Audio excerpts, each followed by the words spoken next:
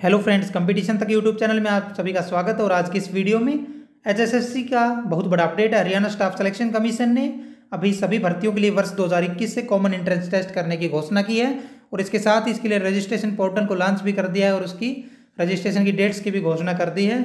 और इसके बारे में अन्य सभी इंपॉर्टेंट इन्फॉर्मेशन मैं आप लोगों को बता देता हूँ, लेकिन जिससे पहले वीडियो स्टार्ट करूँ जो भी स्टूडेंट्स हमारा चैनल कंपटीशन तक पहली बार देख रहे हैं, हमारे चैनल को सब्सक्राइब कर लें और बेल आइकन पर प्रेस करना ना भूलें ताकि कंपटीशन एग्जामिनेशन और क्लासेज से संबंधित जो भी वीडियोज़ हम अपलोड करें आप लोगों तक पहुँच सके।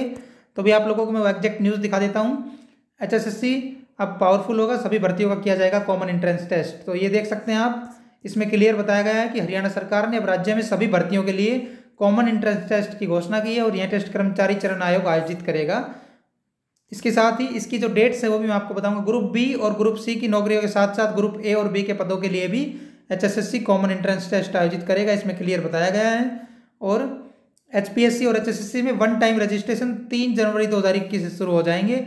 इसके लिए one time registration portal launch भी कर दिया गया है। विभिन्न नौकरी के लिए आवेदन करने वाले युवाओं को साल में सिर्फ़ एक बार ही फ़ीस देनी होगी और एक बार इस रजिस्ट्रेशन करके उनकी क्वालिफिकेशन डिटेल्स के अनुसार वो अप्लाई कर पाएँगे उसमें।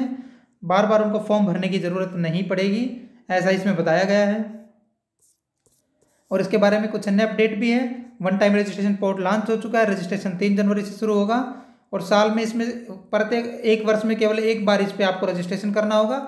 उसके बाद आपकी यूनिक आईडी बन जाएगी।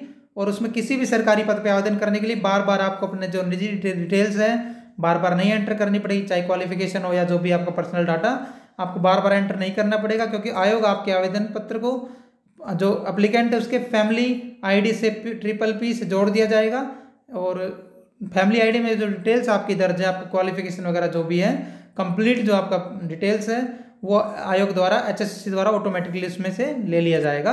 तो आपको बार बार उसमें डिटेल्स डालने की ज़रूरत नहीं पड़ेगी, ऐसा इसमें कहा गया है।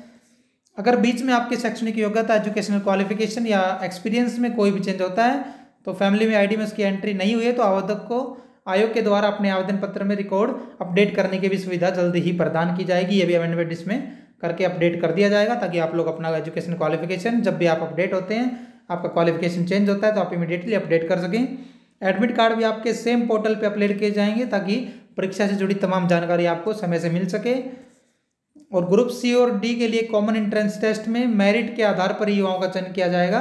ग्रुप और ए और बी में कॉमन एंट्रेंस टेस्ट लेकर हरियाणा कर्मचारी चयन आयोग पूरा डाटा हरियाणा लोक सेवा आयोग को भेज देगा। मेरिट में नहीं आ पाने वाले अभ्यर्थियों को तीन चांस मिलेंगे।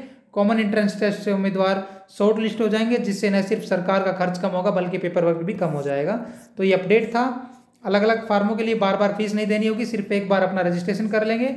और आपसे एक बार में ही सामान्य जाति के प्रार्थी अप्लीकेंट से पाँच सौ रुपये फ़ीस ली जाएगी। OBC S C S T से या अन्य बैकवर्ड क्लास या फिर आर्थिक रूप से कमज़ोर श्रेणी के ई डब्ल्यू एस से ढाई सौ रुपये लिए जाएँगे। इसके बाद साल में जितनी बार चाहे आवेदन पत्र भर सकेंगे, चाहे कोई भी वैकेंसी हो बार बार फ़ीस आपको नहीं देनी पड़ेगी।